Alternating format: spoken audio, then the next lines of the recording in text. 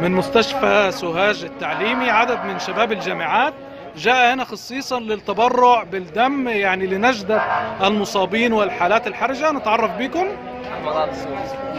إيه النهارده اتبرعت بالدم عشان المصابين؟ احكي لنا عرفت كواليس الحادث إزاي وجيت هنا إزاي وتواصلت مع زملائك للتبرع. احكي لنا التفاصيل.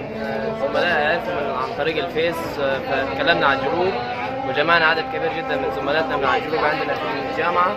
وجينا نتبرع من أولاد أو بنات. وزملاتنا اهميه أصلا جماعة أنت النهارده اتبرعت بالدم ولا لسه هتتبرع؟ لا اتبرعت من شوية. طيب إيه رسالتك لسائر الشباب للتبرع ولنجدة المصابين داخل مستشفيات سوهاج؟ أكيد يعني لازم نتبرع كلنا ما ينفعش حد يفضل قاعد كده عارف كل حاجة وسايب كده. ماليش دعوة يعني. لازم نساعد يعني الناس. أنتوا عددكم كام اللي اتبرعتوا النهارده كمجموعة أصدقاء؟ يعني اللي اعرفهم يعني ممكن آه، 10 أو 20 مثلا. لكن أكيد في أكتر من كده بكتير يعني.